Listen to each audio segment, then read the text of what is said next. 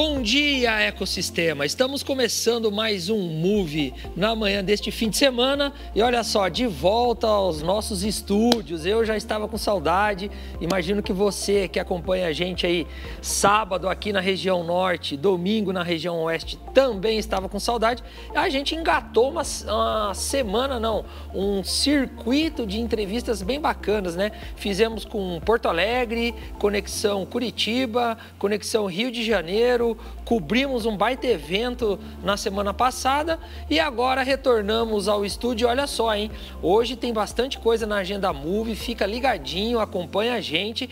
E a entrevista é, que vai dar aí a largada de novo para o nosso retorno aos nossos estúdios é com um grande amigo meu, um baita empresário, um cara que tem muito para falar para você que é startupeiro, para você que é empresário, para você que é jovem, médio, mais para cima, cabelo branco, para todo mundo. O papo vai ser muito bom.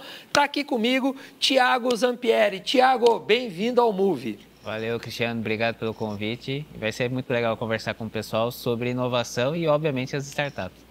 É isso aí. É sobre inovação, é sobre tecnologia, é sobre startups. E para a gente começar, né? É... O legal é falar quem é o Tiago. Né? O Tiago é formado em engenharia de software, computação, é, cinema. Qual que é a, a, história? O que, que trouxe o Tiago para esse mundo da tecnologia?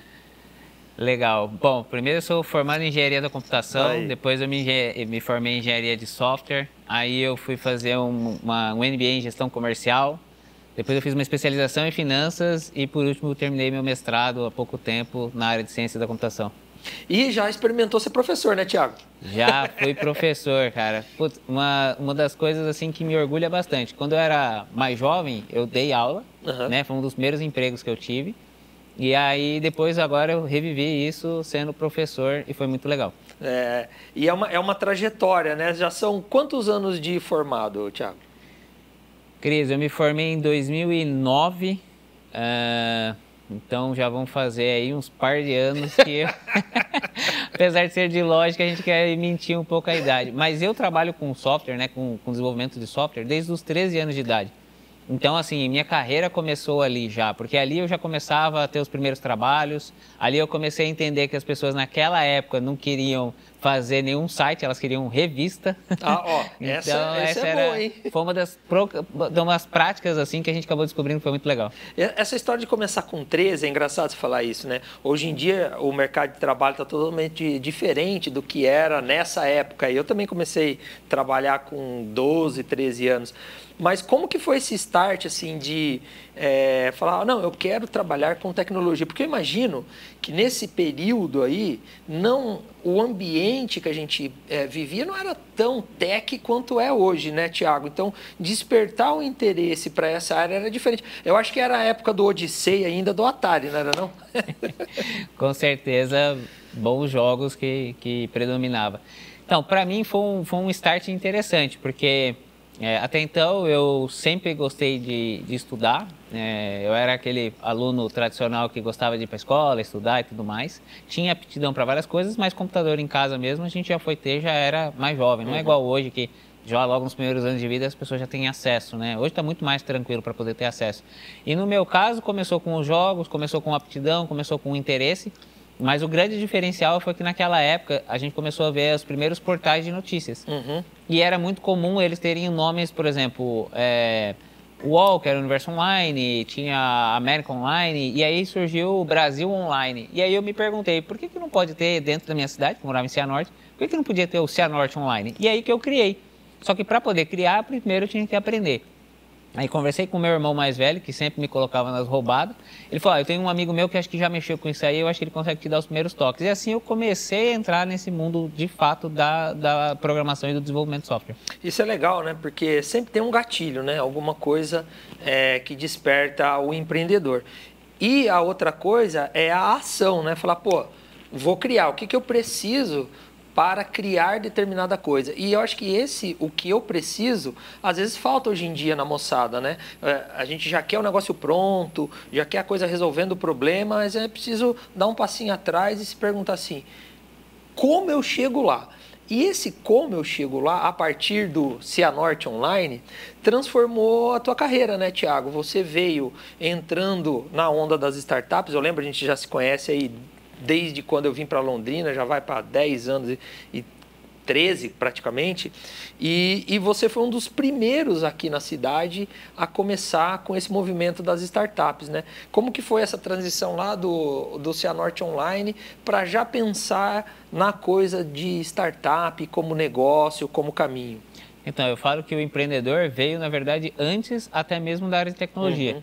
Porque antes disso, né, vendi suquita na escola para poder Aí. ganhar um dinheirinho, é, formei o primeiro jornal da escola, depois quando a gente mudou de colégio, a diretoria conseguiu uma verba para a gente produzir de fato um jornal, que depois veio até um programa de, é, do governo para que tivesse as rádios nas uhum. escolas. Então veio motivado disso. Então sempre teve essa vontade de empreender antes de, de fato, começar com a tecnologia. A tecnologia foi uma forma que eu vi que eu falei, olha, eu quero empreender e eu gostei de empreender com tecnologia. Quando eu trabalhei no, no, mercado corporativo, eu trabalhei durante 11 anos numa empresa que me deu, é, abriu muitas portas, abriu conhecimento, me permitiu fazer muitas coisas e crescer o meu conhecimento. Uhum. E aí chegou aquela hora de falar assim, poxa, agora eu tenho uma boa bagagem e eu quero montar o meu negócio. E aí, dentro das oportunidades que tinha, estava se nascendo um movimento muito forte do que era, que a gente chamava na época de startup, que hoje é muito mais conhecido e divulgado. Uhum. Mas para a minha época, ainda era uma coisa muito embrionária, muito iniciante, muito incipiente. E aí sim, eu caí de cabeça. Fui participar de um hackathon. Olha aí. Nesse hackathon, a gente montou um time que mal se conhecia. É, obviamente, nós ficamos numa colocação que não era entre os favoritos, mas a ideia era muito boa, tinha muito potencial e a gente não desistiu. Eu acho que o, o grande legal é que juntou ali naquela época quatro pessoas que realmente tinham o mesmo interesse de falar assim: nós queremos empreender com tecnologia e gostamos desse produto. E aí a gente foi para uma aceleração. Uhum. Nessa aceleração, a gente começou a conversar com alguns fundos e desses fundos a gente teve o primeiro aporte. E aí é assim que nasce a primeira participação de uma startup. E aí eu abandono uma carreira de 11 anos no mercado corporativo e a mãe chora. chora, mas eu, eu, eu, a gente vai, vai seguir essa trilha aí. Essa aí foi a Bart Digital? Essa veio a Bart. A Bart, num determinado momento, ela fez uma, é, uma separação a gente fez uma venda parcial dessa operação que acabou indo para o Serasa. Uhum. É, e hoje a parte ela fez uma fusão e ela se tornou a 7. Aí, ó. Ir para o Serasa não quer dizer que ele foi porque ele não tinha crédito, é que o Serasa absorveu a solução, né? Exatamente. não, vamos explicar porque você sabe, né? Senão, pô, o Thiago já caiu no Serasa, não pagou os cheques, não é nada disso. É que o Serasa adquiriu a solução porque a, a, a Bart Digital fazia algumas transações online, né? É, a, a BART, a origem dela é contratos agrícolas e dentro Aí. da operação agrícola a gente tem três estágios. A gente tem a primeira concessão do crédito, depois a gente tem a formalização e por último a gente tem o monitoramento dessa safra para poder compensar uhum. os ganhos e, e fechar o, os contratos. Uh, a BART se envolveu na parte de crédito e também na parte de formalização e a parte de monitoramento ela fez com um parceiro. É, isso evoluiu tanto e a parte de crédito virou um, algo interessante para o Serasa que o percentual deles era muito pequeno ainda uhum. nessa área. Então eles viram a gente que, que já tinha desenvolvido bastante e eles optaram por absorver essa parte porque era o métier deles. Bom, e aí, de todo esse crescimento, e tiveram outras startups, a gente vai acabar batendo um papo sobre isso no decorrer do caminho, chegamos à Core Lab. E olhando lá no, no, site, mas já te conhecendo, né? Fuçando na Core Lab, a Core Lab diz o seguinte: o que ela não é. Ela não é uma software house. E se ela não é uma software house e apoia startups em tecnologia, empresas de tecnologia, o que é então a Core Lab? Conta pra gente esse projeto que está te dando assim tanto prazer em executar. Legal. Cris, a Core Lab ela é, eu simplifico ela falando que é uma fábrica de startup. A gente entendeu que uma das grandes dores que vários empreendedores têm, quando eles têm uma boa ideia, eles têm o capital necessário, eles têm o intelecto, eles têm todos os requisitos, falta a questão da parte de desenvolver o produto ideal para o mercado e a tecnologia. Muitos deles se aventuram ou para uma software house uhum. ou se aventuram tentando encontrar o sócio ideal na parte de tecnologia. Prazer, nós somos esse sócio de tecnologia que pode impulsionar o seu negócio. Então, o que a gente faz? A gente pega esse empreendedor, não dá só um banho de loja, mas a gente vê qual que é o trajeto para, de fato, tirar esse, essa ideia do papel e virar um software que o mercado ganhe é, interesse e de fato se torne desejável. É, não é só eu acho que você falou uma coisa interessante, né? Não é só o banho de loja. Vem junto com o pacote para criar, transformar tangível a ideia do empreendedor, também vem orientação, vem uma rede de network, vem outras coisas dentro do processo que, o, que quem procura vocês hoje é, consegue diferente de outros lugares, né? Não é só o código pelo código, né? Exatamente, Cris. O que acontece é que muitas vezes a gente dava mentorias na uhum. área de tecnologia mas a gente não era escutado a sério porque realmente, de fato, a gente não era empático com o problema que o empreendedor estava do outro lado, porque o problema dele é além. Como é que ele vai confiar a principal característica, que é uma startup, que é de base tecnológica, em alguém que ele ainda não conhece e não sabe se vai dar resultado? E a gente vê muitas pessoas indo para uma software house por causa justamente por ela já ter resultados, por ela ter entregas, uhum. por ela ter controle. Só que não é o movimento certo. Ela está acostumada a pegar um projeto, iniciar, ter prazo, meio e fim e entregar. O modelo nosso é diferente, a gente acompanha.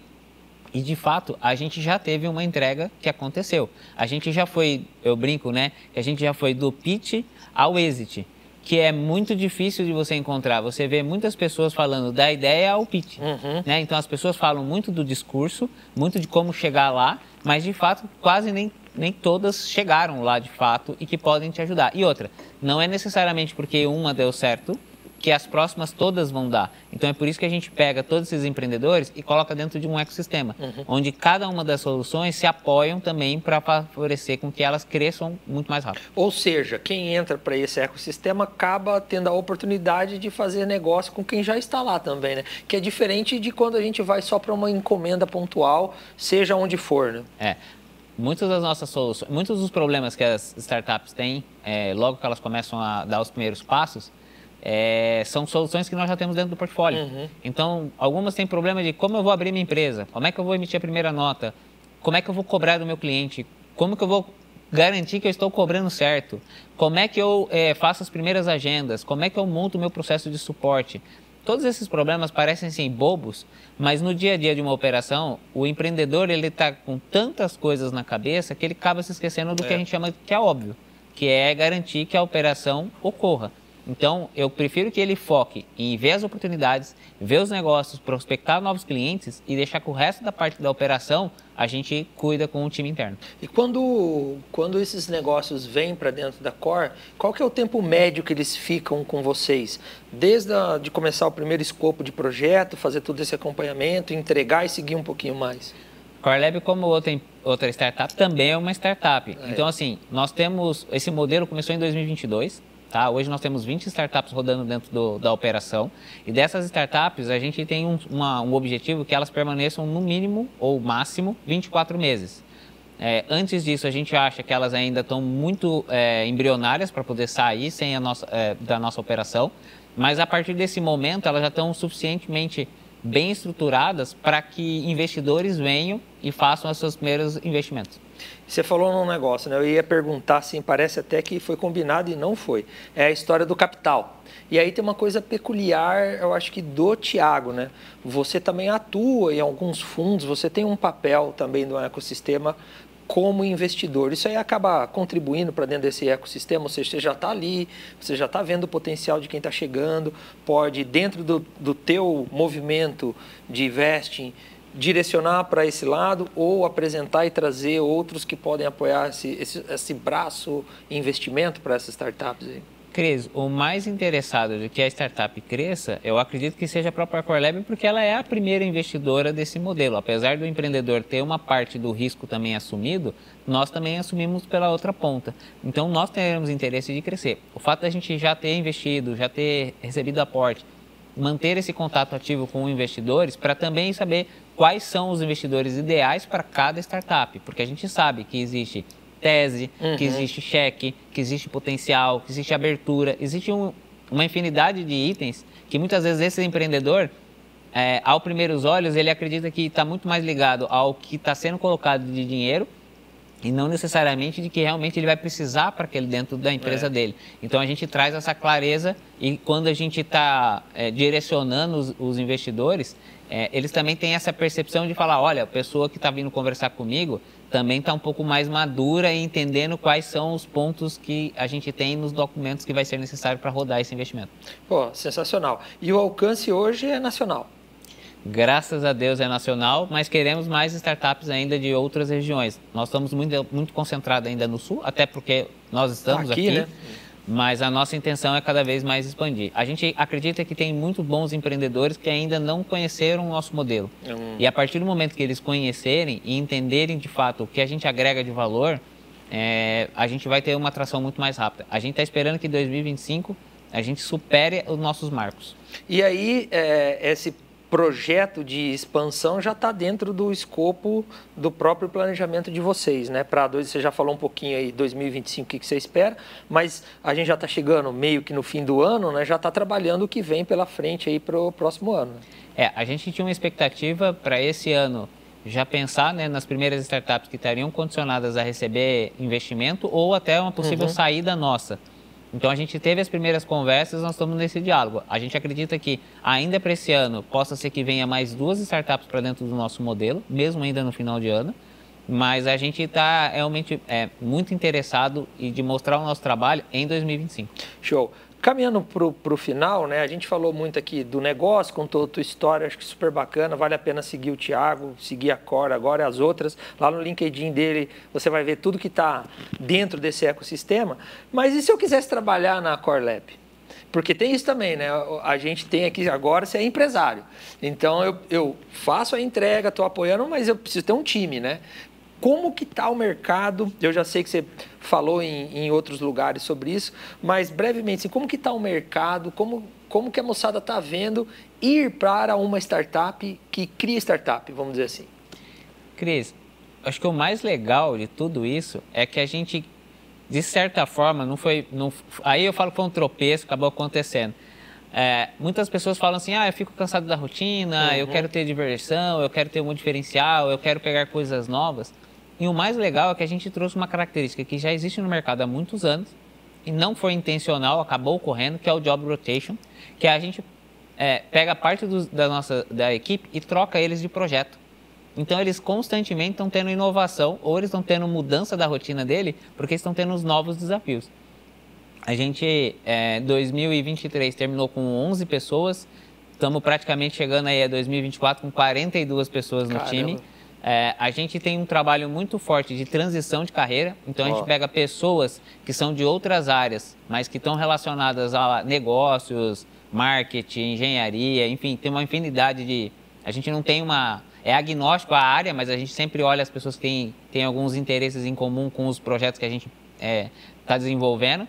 E a gente tem trazido essas pessoas para o nosso mercado. E está sendo muito interessante, porque a gente está dando uma visão muito para os jovens, né? Inclusive agora a gente tem até um, uma pessoa internacional, oh. é, que o mais interessante, a gente está dando o propósito para a vida deles. Porque a gente traz muita proximidade com uhum. eles, né? A nossa cultura é muito forte. Então eu acho que é isso que é, que é o relevante.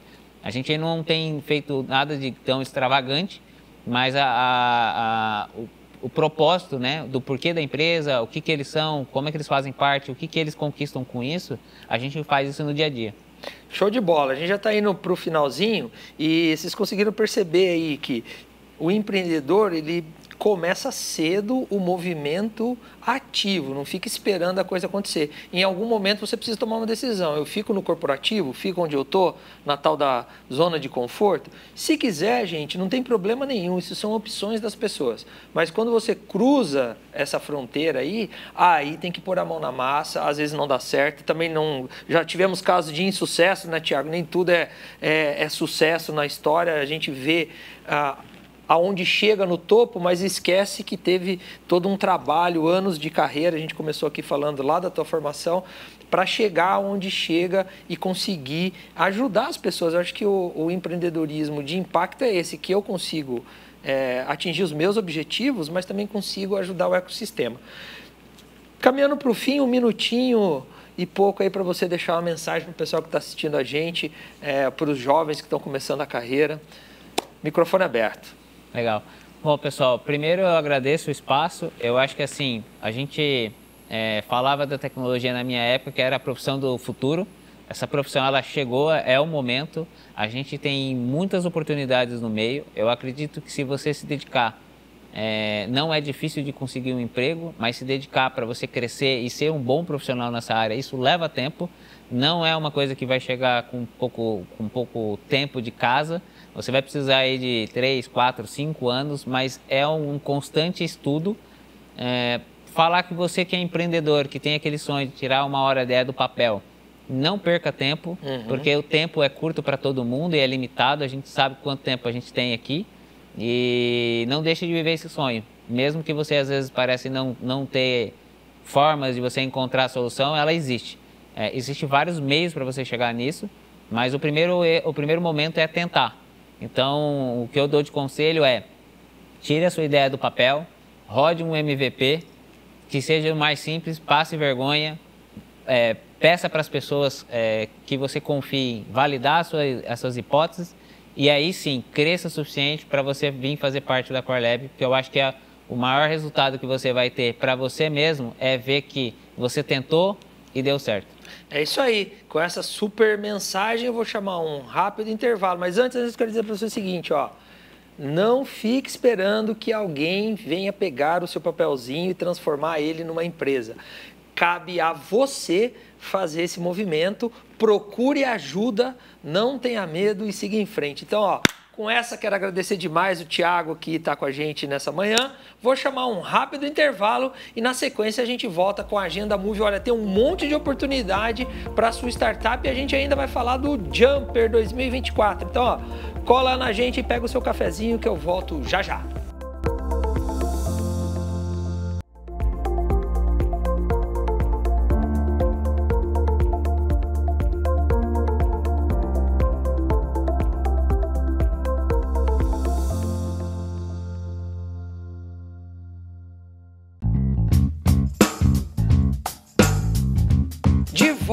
Com a Agenda Move, os recados da semana e as oportunidades para sua startup. E ó, tem bastante coisa aí na tela, hein? Vamos lá, já vamos começar. Se você quer acelerar junto com a Oxigênio, que é a aceleradora lá da Porto, então ó, as inscrições estão abertas até o dia 13 do 10. São quatro áreas para sua startup, todas é, conectadas com atendimento ao cliente e uso de inteligência artificial. Então vai encher a tela aí para vocês no QR Code, você pode é, tirar a sua fotinho, vai direto para o site da Oxigênio e lá você vê a oportunidade onde você se encaixa e já se inscreve e aproveita essa oportunidade de aceleração lá junto com a Oxigênio e a Porto, beleza? Tem mais uma super bacana que é essa do Santander X. Isso aqui é uma mistura de curso, de capacitação, de premiação que traz uma série de benefícios para sua startup. Também tem a ver com inteligência artificial. Então, ó, vai encher aí o QR Code na tela para vocês. Você tira a fotinha, as inscrições vão até o dia 11 do 11, então tem tempo para você olhar, pensar e se inscrever e aproveitar essa oportunidade. Mais uma, ó, essa aqui é muito legal. O startups.com é um dos principais portais de notícia é, do ecossistema de inovação do Brasil e a gente está aí num grupo de WhatsApp conversando, compartilhando notícias. A gente impulsionou o Jumper por lá e aí eles têm aqui nessa aba, em, lá em laranjinha, aqui em cima do meu, do meu ombro aqui, ó, a área de eventos do ecossistema, né? Então você pode colocar o seu evento lá, vai passar por uma curadoria e aí vai sendo publicado é, na, lá no site do Startups. Então aqui a gente, para baixo de mim aqui, ó, ó aqui já tem dois eventos aí ao longo do mês, você pode conferir. Entra lá, tem o QR Code lá no cantinho que te leva direto para a página aonde esses eventos são publicados. E se você tem o seu e quer que ele apareça nacionalmente, além de mandar aqui para o Move para a gente mostrar na TV, você pode mandar também lá para o portal. Como eu falei, tem uma curadoria de conteúdo que vai avaliar e tudo mais. Se tiver ok, você ganha aí um apoio, um impulso para o seu evento. Então, ó, anota, enche a tela de novo aí para o QR Code, vai chegar para você lá no Startups e se der tudo certo, o seu evento é divulgado, beleza? Por falar em evento, a gente tem aqui ó, nos dias 6 a 8 de novembro, lá no Rio de Janeiro, a FISWeek 2024. A FISWeek é um dos principais, se não o principal evento da América Latina para tecnologia, inovação, empreendedorismo de saúde. É um evento gigantesco, mais de 450 é, palestrantes. Eu vou estar tá lá, é, eu tenho que olhar aqui, ó. Eu vou estar tá lá em um dos painéis no dia 6. Eu vou participar de um painel, mas vou estar tá nos três dias lá com o pessoal, então dá tempo de você se inscrever, vai encher a tela, eu tô na frente, mas vai encher a tela aí com o QR Code, tira a fotinha do QR Code, entra lá no site da FISWeek, se inscreva, venha participar e ó, vocês viram o papo que eu tive com o Thiago aqui, né? O Thiago tinha uma solução que era pro agro, ela acabou é, casando no varejo e potencializou aí a startup que ele teve lá para trás. Então, se você tem produtos pro segmento da saúde, mas você não é um KINAI Saúde, fiz o Week é o lugar, hein? Tem que estar tá lá, tem área de exposição, startup, investimento, uma série de coisas, vale muito a pena. Na sequência, a gente tem mais um é, evento de saúde. Esse a gente já entrevistou aqui no Conexão é, Move. A gente falou com o Gilmar lá, que é o CEO do Health Meeting. Então, você, ó, nos dias 11, 12 e 13. Se você, lá em Porto Alegre, se você tiver aí com a agenda tranquila, sobrando aquele cascainho, dá para ir no Fiz Week, já pegar o avião do Rio e ir direto para Porto Alegre e aproveitar o Health Meet. Então dá tempo de se inscrever também. Vai ter a Batalha das Startups pela, é, organizada pela Venture, mas acho que a Batalha das Startups, as inscrições já fecharam. De qualquer forma, se você for no evento, você vai ter a oportunidade de ver as startups e lá, assim como no, no Jumper, que a gente vai falar daqui a pouco, lá na Batalha das Startups do Health Meeting, a, a vencedora leva 200 mil de investimento feito pela Venture. Então você vê que a Venture está apoiando o ecossistema em diferentes frentes. Então fica aí, ó, Health Meeting 2024 em Porto Alegre. Quer ajudar o povo gaúcho, quer ajudar a recuperação lá da, do acidente climático, das enchentes? Então o negócio é fazer negócio com o povo gaúcho. Então, Health Meeting 2024. Manda lá!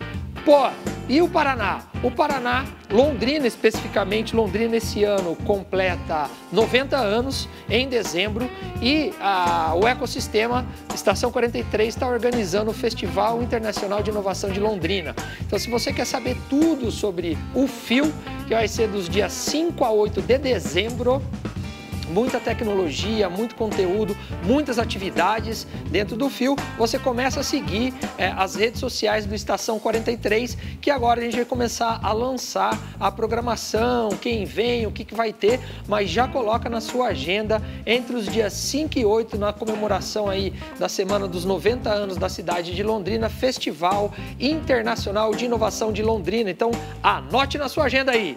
Vamos que tem mais. Ah, agora chegou a hora.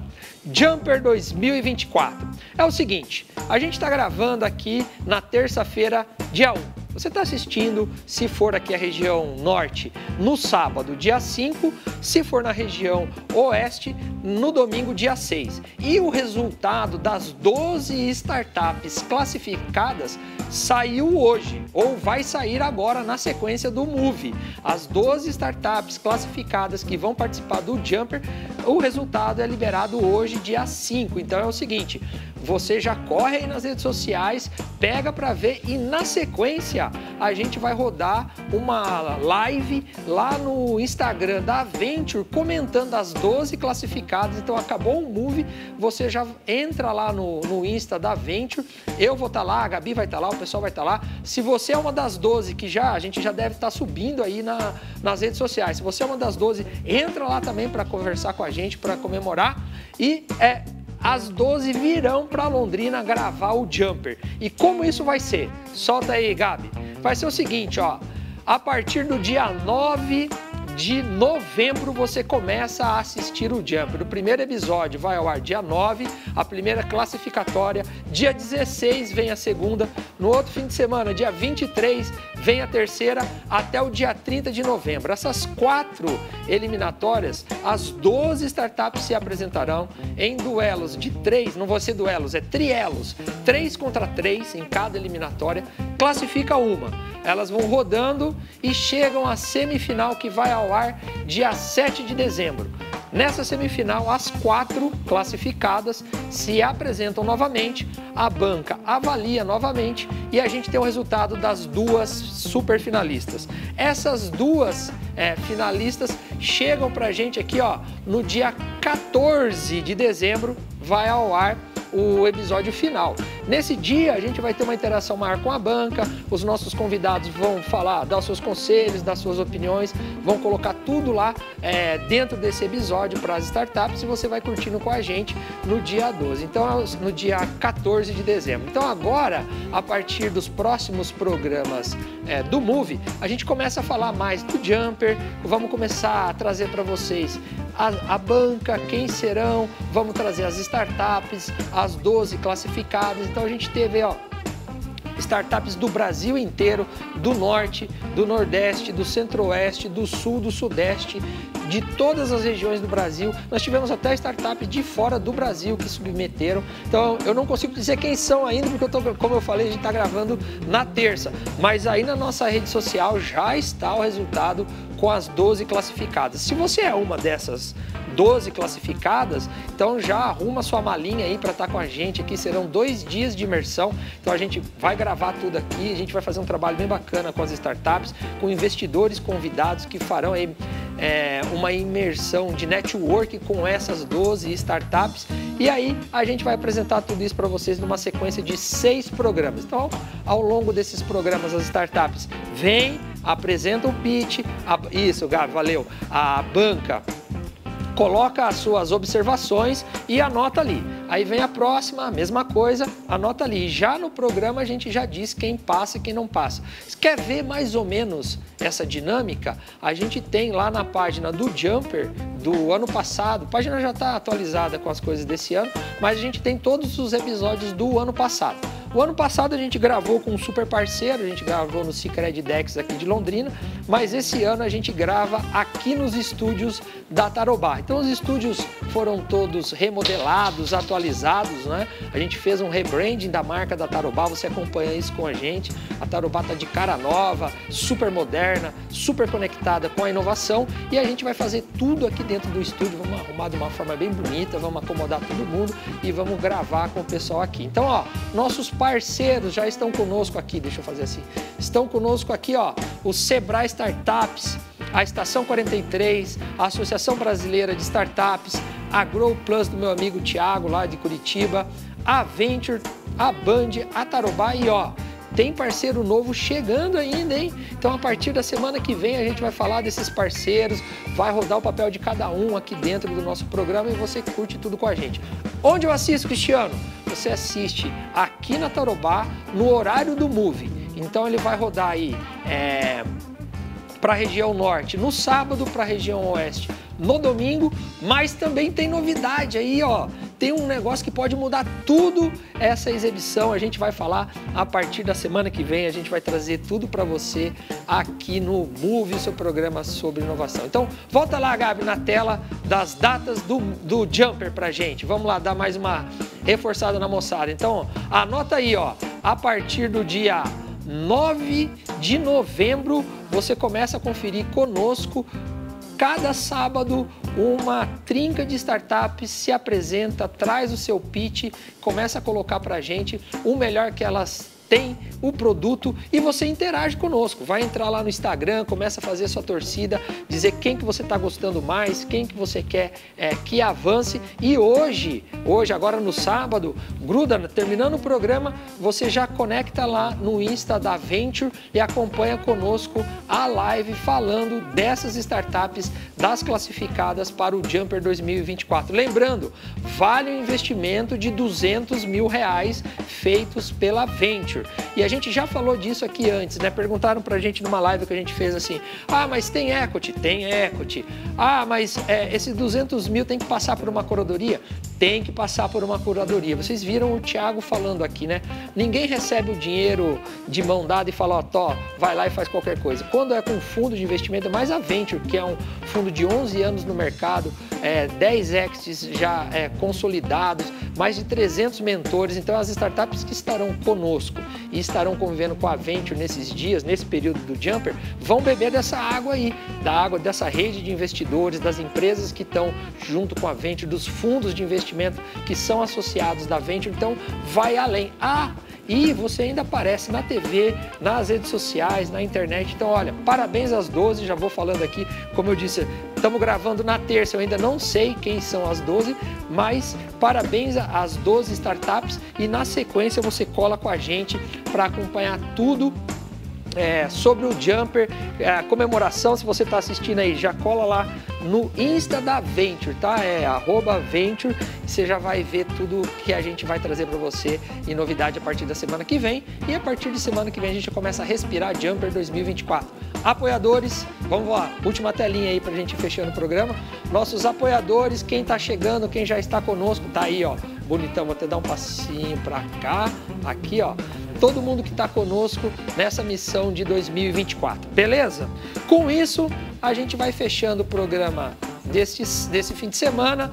Lembrando, né, você curte o Move no sábado aqui na região norte do Paraná, no domingo na região Oeste, sempre nas suas manhãs trazendo o melhor do ecossistema de inovação, de empreendedorismo, trazendo tudo sobre tecnologia, falando do universo das startups. E eu preciso fazer um agradecimento aqui gigantesco a toda a minha equipe, a equipe do Move, que bota o nosso negócio de pé aqui, que coloca todas as matérias, que faz edição, que monta o nosso cenário, que trabalha com a gente aqui é, todo é, ao longo da semana para trazer para você o melhor do universo, do, do, do universo. o nosso amigo corintiano aqui, não, tô brincando, o Gabi Palmeirense Roxo já mandou um salve lá aqui. E ó, é isso, para todo mundo que trabalha com a gente, é muita gente dentro da TV para você poder ter esse conteúdo fantástico. Agradecer você que assiste o Move. A gente tá aí, ó, bombando na TV, bombando na internet. Muito, muito é, obrigado pela sua confiança, por acreditar no nosso trabalho. E aguarde, hein? Em breve temos novidades. O Move está crescendo, nosso alcance está crescendo. Então, ó, se liga no Move, no nosso Instagram, no nosso LinkedIn. Entra lá na nossa página, no site da tarobá.com. Você vai lá no menuzinho de cima, aperta em TV, roda a página, tem o nosso quadradinho, nosso espaço Move, você assiste tudo o que está acontecendo, os programas passados estão todos lá, você confere aí no conforto do seu lar, no teu escritório, onde você estiver, no Brasil e no mundo, beleza? Com isso a gente fecha o programa desse sábado, deste domingo, saudando todos vocês e ó, cola lá na nossa live para ver quem são as 12 classificadas do Jumper 2024. Fui! Move, seu programa sobre inovação. Até o próximo final de semana. Tchau!